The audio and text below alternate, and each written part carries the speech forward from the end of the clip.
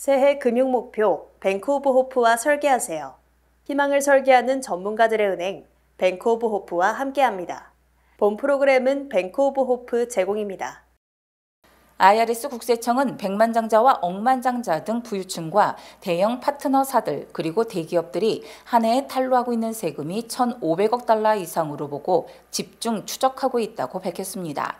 IRS는 최근 2년간 부유층의 체납 세금을 4,800억 달러나 걷어들인 데 이어서 앞으로 10년간 탈루 추적 등을 통해 5,610억 달러의 세입을 늘리겠다고 경고했습니다. 국세청은 10년간 600억 달러의 예산을 증액받아 절반은 세무 행정 서비스 개선에 투입하고 절반은 부유층과 대기업 탈루 추적 강화에 쏟아붓고 있다고 강조했습니다.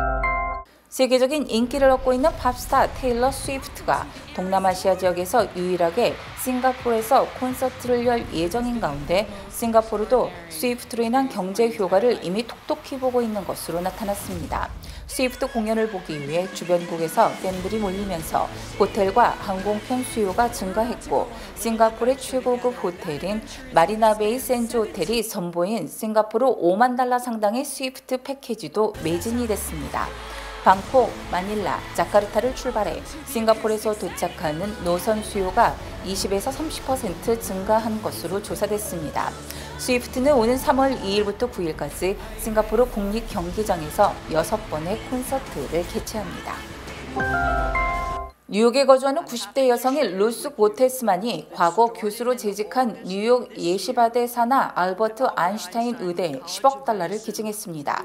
이번 기부는 미국 내 대학기관에 집행된 가장 큰 자선 기부 중의 하나이며 의대로만 놓고 보면 가장 큰 규모입니다. 의대생들이 학자금 빚에 시달리지 않도록 등록금 부담을 완전히 덜어주겠다는 취지의 기부입니다. 코테스만은 새내기 의사들이 20만 달러가 넘는 등록금으로 인한 학자금 빚 없이 커리어를 시작하고 향후 의대 학비를 감당할 수 없는 학생들도 입학할 수 있기를 바란다고 기부의 이유를 설명했습니다.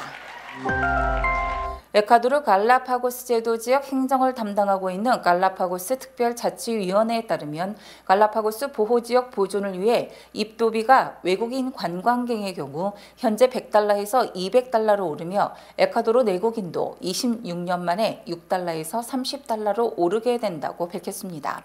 특별자치위원회는 보도자료를 통해 섬 지역을 방문하는 관광객 수를 조절하면서 갈라파고스 제도 보존 이니셔티브에 부합하는 있는 관광 모델을 장려하겠다고 말했습니다. 또한 유네스코 세계문화유산이며 생물권 보전 지역인 갈라파고스 특별자치위원회는 갈라파고스 생태계와 주민 모두의 안녕을 위해 관광객 규모를 안정화하는 것을 최우선으로 하고 있다고 밝혔습니다. 베스트셀러 소설 해리포터가 2026년 공개를 목표로 TV 드라마 제작에 돌입했습니다. 워너브라더스의 디스커버리 최고 경영자는 23일 실적 발표 컨퍼런스 콜에서 해리포터 TV 시리즈를 2026년 동영상 스트리밍 플랫폼 맥스에서 공개를 목표로 제작에 돌입했다고 말했습니다. 해리포터 TV 시리즈는 소설, 영화와 마찬가지로 총 7개 시즌으로 만들어질 계획입니다. 해리포터의 원작자인 롤링은 영화부터 게임, 기념품 제작 등 해리포터 시리즈와 관련한 모든 판권을 전적으로 갖고 있으므로 워너브라더스의 최고 경영자가 롤링을 직접 만나 설득해 이번 일이 성사됐다고 월스트리트 저널은 보도했습니다.